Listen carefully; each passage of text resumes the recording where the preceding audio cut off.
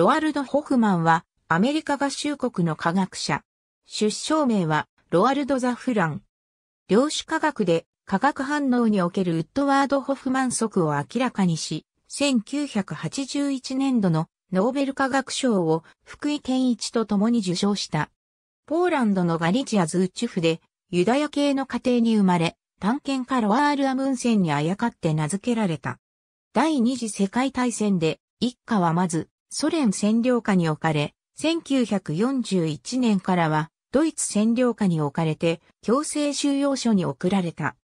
彼と母は父の努力で脱出し、かくまわれたが、父は殺された。母はパウル・ホフマンと再婚した。1946年に一家はポーランドを脱出し、オーストリア、ドイツなどを経て1949年にアメリカへ移住した。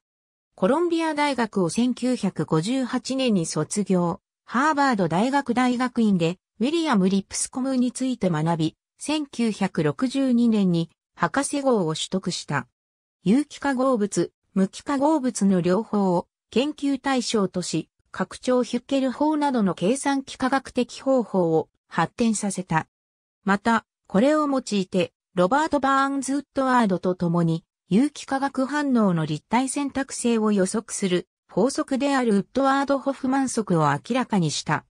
科学に関する啓蒙書を書いているほか、詩人としても2巻の詩集を出している。また科学的発見をテーマとする劇、王に沖自然を書いている。現在コーネル大学教授。2009年、ホフマンの主導により、故郷、増路中にホロコースト犠牲者の記念碑が建てられた。ありがとうございます。